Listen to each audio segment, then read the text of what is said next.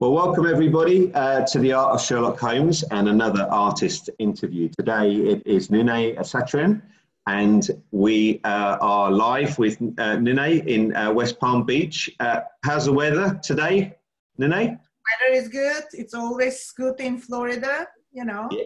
Well, um, which we're happy about. As I said, as I said to Andy yesterday, the closest I get to West Palm Beach is to wear my West Palm Beach t-shirt. Um, it's raining here in London. Um, so what we're going to do is we're going to dive straight into uh, your art and just ask ask you really who are your biggest inspirations in terms of your art. Hi Steve, thank you uh, for having me here.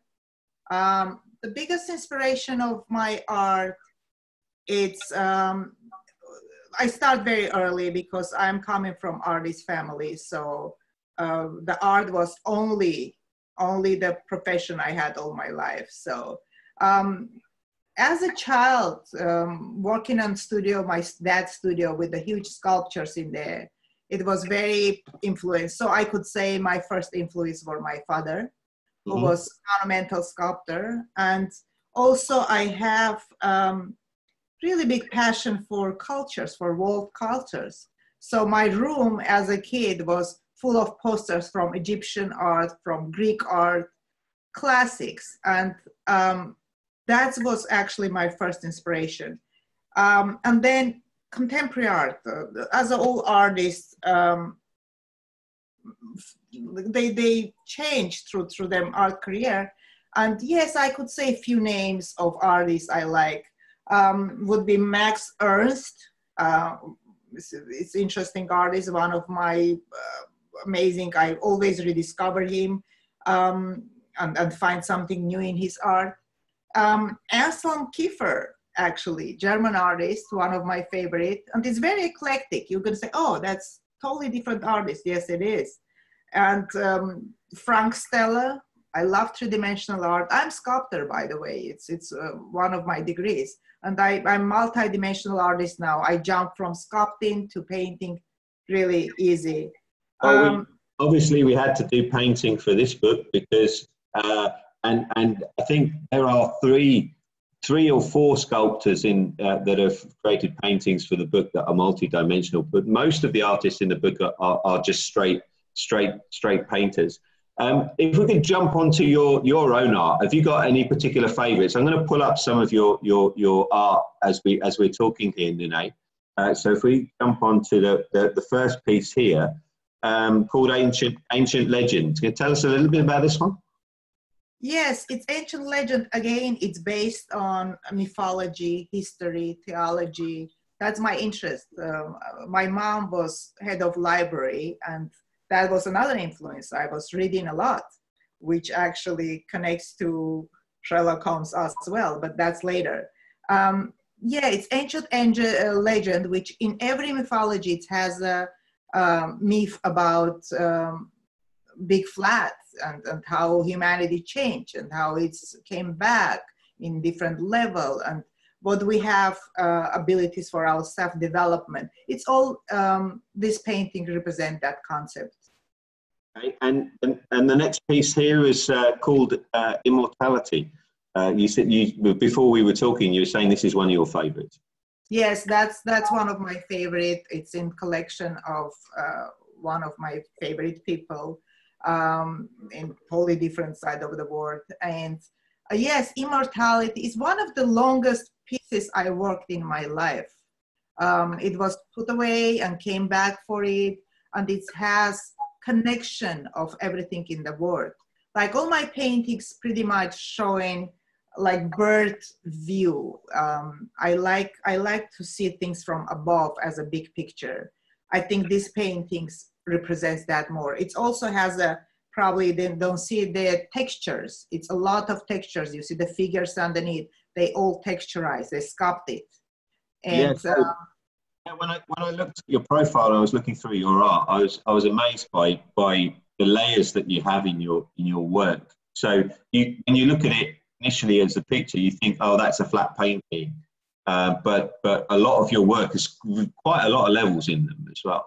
Yes, it is, and it has an old sculptural element because I cannot help it.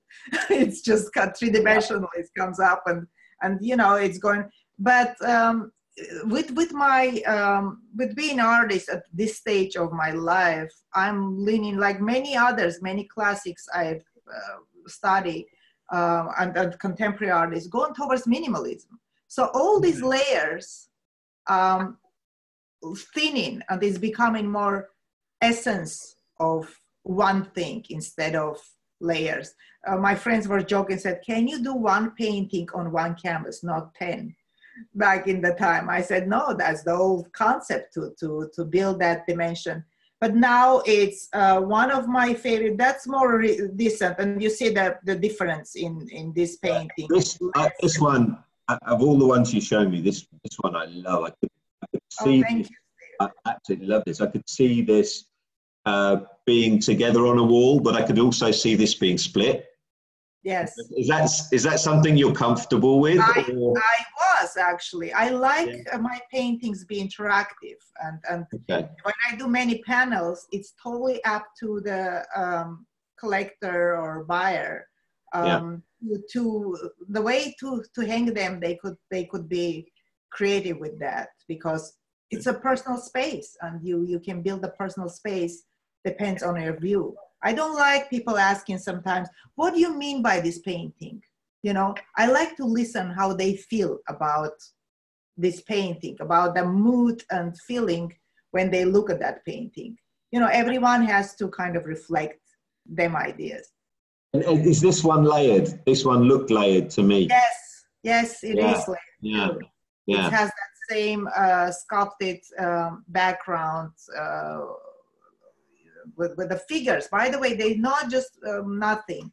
Those are the figures you see. Very yeah. figures, abstractly, but they represent humans and animals and, and so on.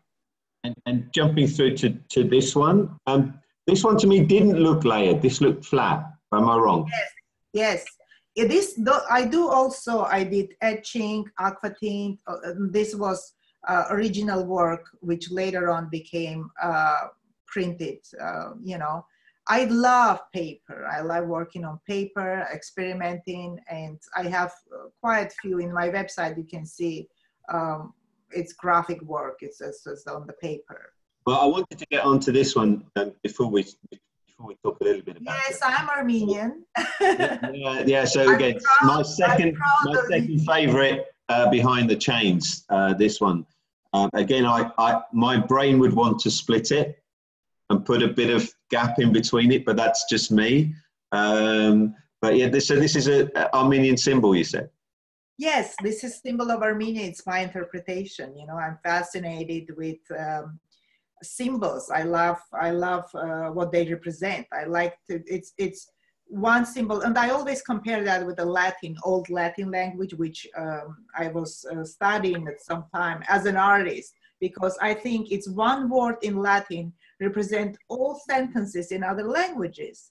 So yeah. symbolism, it's kind of for me that you know, it's it's, it's and this represents everything what's happened with the country, what's um, and I'm very proud Armenian and uh, the, the, changes we have now in there. It's very, very, uh, you know, uplifting and it's, uh, you know, I'm visiting this year Armenia with, with some of my artist friends and very happy about that. So yes, this is my interpretation of Armenian uh, symbol. Fantastic. Now, obviously we, we um, can't show the full piece of art from the art of Sherlock Holmes that you've done uh, because it's still very secret and we're keeping that until the until the book is available. And it, as we were talking about before, even the authors don't know which story uh, that's been done. But we're going to show a little glimpse of your of your piece of art here. It's actually on its side uh, to make it even more complicated because it's it's actually horizontal, but we've put it on its side here uh, just to, so we can show a little bit more of it uh, uh, in, in, the uh, today. Um, so I, I, I really felt a lot of symbolism when I saw this piece. How did you how did you find the experience of writing to a piece of uh, fiction? So you were given a story, a Sherlock Holmes story, and you had to create a piece of art. Did you did you enjoy that? What was it like?